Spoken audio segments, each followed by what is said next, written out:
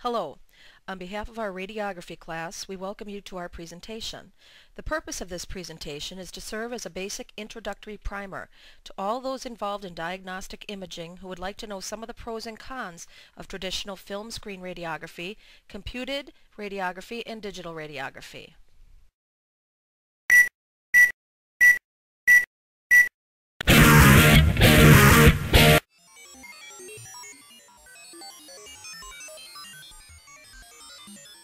Advantages and disadvantages of traditional film screen, computer, and digital radiography. Let's begin with a brief overview of what each imaging system is. In screen film radiography, the receptor consists of the film mounted in contact with either one or two intensifying screens. Intensifying screens are thin sheets or layers of fluorescent materials. The screen film combination is housed in either a cassette or a film changer. The X-ray energy is absorbed by the intensifying screen material, and a portion of it is converted into light. The light, in turn, exposes the film.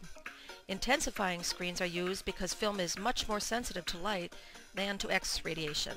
Approximately 100 times as much X radiation would be required to expose a film without using intensifying screens.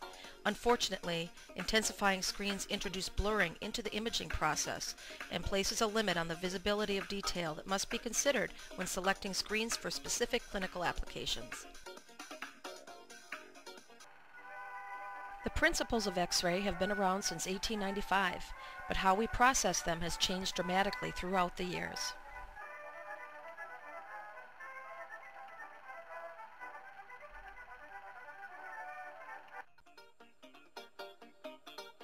In this demonstration, a technologist is taking a chest radiograph using the traditional film screen method.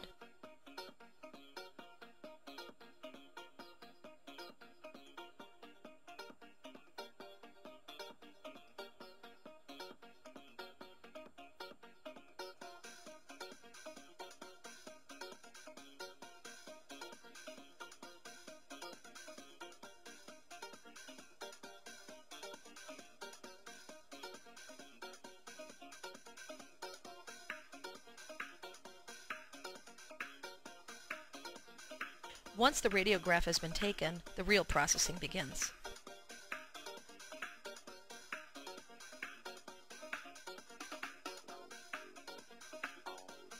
Let the waiting begin.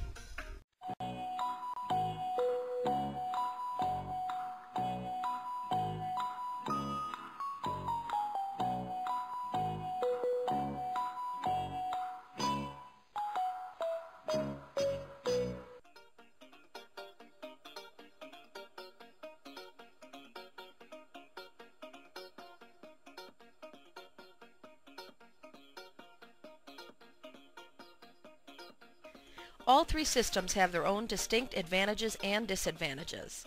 Some of the advantages of traditional film screen is that they're tried and true and have been used for decades.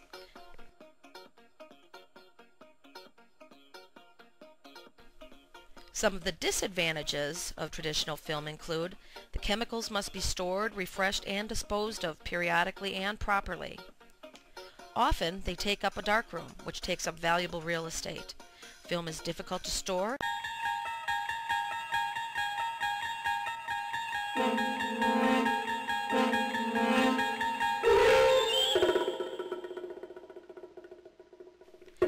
The image cannot be adjusted once it's taken. Now let's hear what our Director of Radiology, Faye Kamrad's opinions are. Obviously, you can't have an electronic health record if you're still um, attached to film and have film that has to be um, sent to different locations to be viewed. The other reasons um, tended to um, be due to uh, logistics um, and problems that we had um, with our current processes. Despite our best efforts, it never failed that films would not end up at the right spot at the right time we had surgeries that, that couldn't proceed because the films just didn't get there in time. We had patient um, visits to their physician that needed to be rescheduled because the films that the doctor needed to review with the patients didn't get there in time. We had films, frankly, that got lost, and then we had to repeat the studies at no cost, which obviously is not, is not efficient, and it's not good for the patients, and causes additional radiation exposure. Another perspective comes from respected radiologist Dr. Paul Larson. I don't miss film and when I go back to places that are purely have film, I actually miss the CR and I miss the PACS system.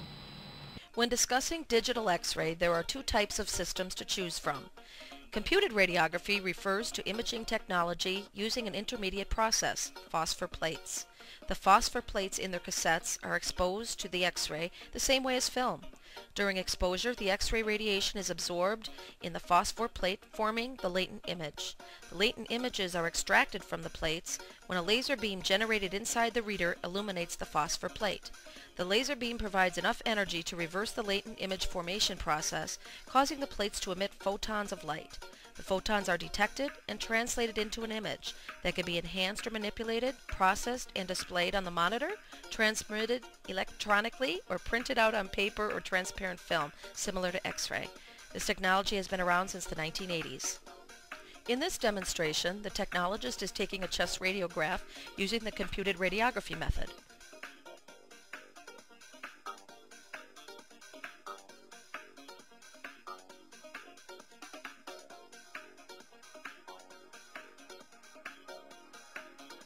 What? No darkroom?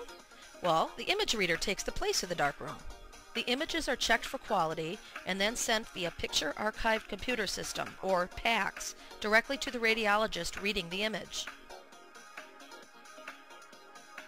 Some of the advantages of computed radiography include less file space.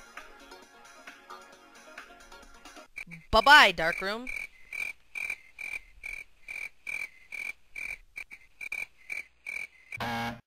See ya, film. Adios, chemicals. Sayonara, file room. Later, flasher. Hasta la vista, processor. CR can be retrofitted to existing X-ray equipment. Um, the reason that we went with CR, um, frankly, is, is because it's less expensive and um, it allows us to keep the equipment that we already had and a lot of our equipment was in very good shape and probably not ready yet to be replaced. One thing, they allow us to get to the digital environment with the least amount of cost. So from someone in my position, that's very important. Excellent image quality. The algorithms that are loaded into the system we have seem to convert the digital information very nicely so that the images look very close to what the radiologists were used to looking at with film. And that's not true sometimes of all vendors. Sometimes there's an adjustment to the look. And I think with the vendor that we're using and the products that we have, um, the radiologists have been very pleased with the quality. And whenever the radiologists are very pleased, then I'm very pleased too. So but to really get the full benefits, you really need to be looking at them in a PACS environment where you can manipulate the images. Once we're able to manipulate the images, window level obviously in particular, as well as panning, zooming, things of that sort, then we can be a lot more interactive with the films. And in some areas, particularly a chest x-ray, whereas we know we have very different densities throughout the chest, all of which may be in important areas, we can optimize the same image in multiple different areas sequentially to look at the whole image better and, and sometimes come up with diagnoses we wouldn't come up with before on film. Information sharing. As soon as the image is taken and is, is sent to the PACS, it is available to be viewed by any physician throughout the system. I think it enhances the consultation experience. It allows more consultations to happen because they're much more um, um, friendly to the physician. And ultimately, I think it results in better patient care. Digital storage. Improved diagnostic accuracy. Wide range of exposure latitude. Compact storage mobile radiography can be easily accomplished, and better cost effectiveness. For one thing, they allow us to get to the digital environment with the least amount of cost. So from someone in my position, that's very important.